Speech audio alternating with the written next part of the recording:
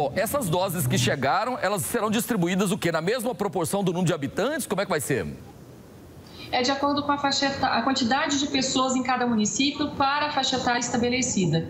Então, é proporcional à quantidade de habitantes. Flúvia, e ah, como é que está a situação? Inclusive, eu queria começar com uma situação toda para você aqui. Ah, tem previsão para os próximos dias de chegada de novos, no, novas doses ou, por enquanto, essa pode ser a última aí é, prevista?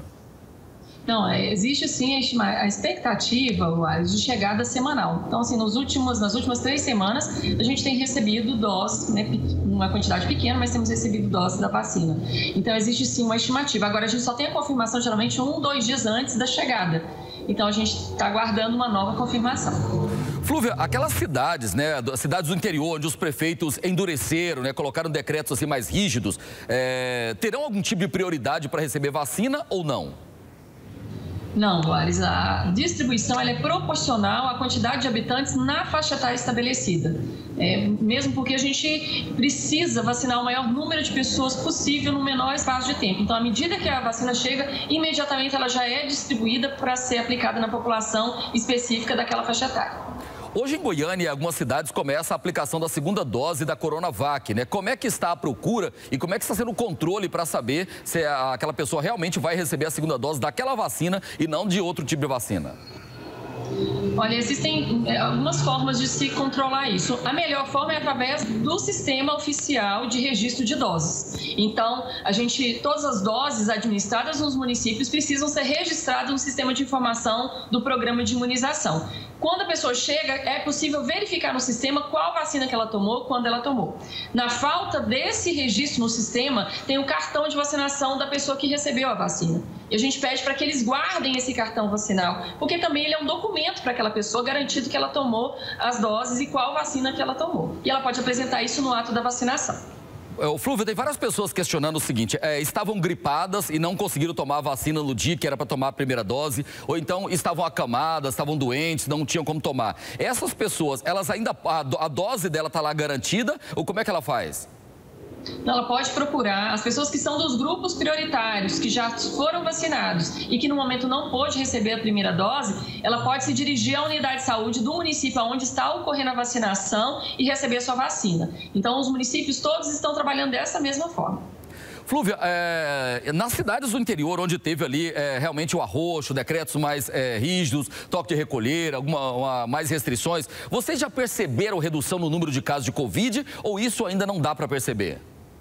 Ainda não dá para perceber, Luares. A gente precisa no mínimo 15 dias, né, de após a mudança naquela restrição. E outra coisa que vai ser difícil a gente conseguir, né, observar rápido, é porque nós temos municípios trabalhando de formas diferenciadas em relação aos seus decretos. E essa falta de homogeneidade também pode fazer com que a gente não tenha o dado real, realmente, do impacto que ocasionou após essas medidas mais restritivas. Alguns hospitais, principalmente as entidades que representam hospitais particulares, falando inclusive já é, falta de medicamentos usados para entubar os pacientes. Tem esse risco? Como é que vocês estão acompanhando? Olha, Lais, isso na rede pública a gente não tem essa situação. Né? Hoje a gente não tem essa situação na rede pública.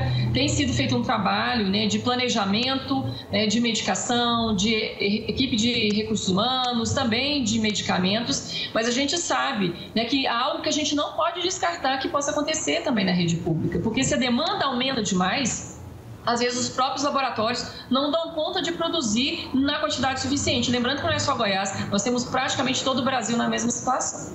Flúvia, perguntas chegando aqui é, de pessoas querendo saber, né? Estavam com Covid é, e aí se recuperar da doença. Tem quanto e faz parte do grupo de risco? E tem que esperar quanto tempo para tomar a vacina? Tem que tomar ou não, não precisa tomar? As pessoas que tiveram Covid, que não puderam receber, né, os idosos, por exemplo, não puderam receber a vacina, ou trabalhadores que estavam, porque estavam com Covid, devem esperar 30 dias a partir da data do início dos sintomas para poder receber a dose da vacina. Então, isso aí o médico vai orientar a pessoa, o médico que está acompanhando, a partir de quando, né? Isso. Na verdade, se a partir do primeiro dia de sintoma, conta-se 30 dias. Depois desse prazo, ela já pode receber a primeira dose da vacina. Flúvia, para a gente encerrar, a gente tem visto, e ontem eu falei até de uma pessoa que é conhecida, é que a mãe mora em Goiânia, mas que foi levada para Itumbiara, acharam vaga de UTI lá em Itumbiara e acabou morrendo lá. Ou então a pessoa está lá no interior do estado e é trazida para Goiânia. Explica para a gente, por que, que pacientes de Goiânia são levados para o interior do interior trazidos para Goiânia? Na verdade, a gente tem um sistema, Luares, é, estadual de regulação, é o complexo regulador estadual. Então, de acordo com a demanda que chega, avalia-se aonde tem leito de acordo com o perfil daquele paciente. E ele vai para onde tiver leito. A gente está com muitos hospitais estaduais, né, com taxa de ocupação muito alta, e à medida que esses leitos eles vão sendo liberados, esses pacientes, de acordo com a fila de espera, vai sendo encaminhado para lá. Para a gente encerrar, nesse momento tem quantas pessoas esperando vaga de UTI em Goiás?